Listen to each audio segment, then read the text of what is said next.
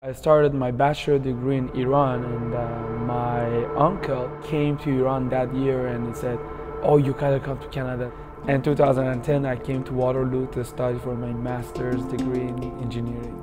I was calling my dad, said, Dad, I love it here, you gotta send twins. Twins are Meti and Massi. After Meti Massi came, their friends started reaching out, hey, can you also help me, my cousin? And then we started doing some rough work on that idea of bringing the students to Canada. We worked very hard and we got the fastest growing tech company in Canada.